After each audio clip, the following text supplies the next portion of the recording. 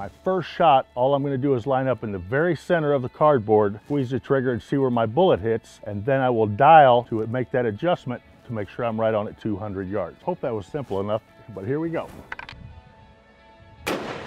I am about that far right and a little bit down from where I want to be. So I'm going to go ahead and adjust my scope. I'm going to guess that that's probably about eight inch or eight inches right, few inches low. So I am going to I'm going to come up about four inches and about six inches back to zero and I'm going to shoot again. Remember what we're doing right now is establishing zero. It's very important that at 200 yards, if that's what you want your zero to be, to make sure your gun's shooting a good group at 200 yards. So that's what we're getting ready to do. Oh yeah. I'm gonna come over two clicks to the left and I'm gonna establish my zero right there.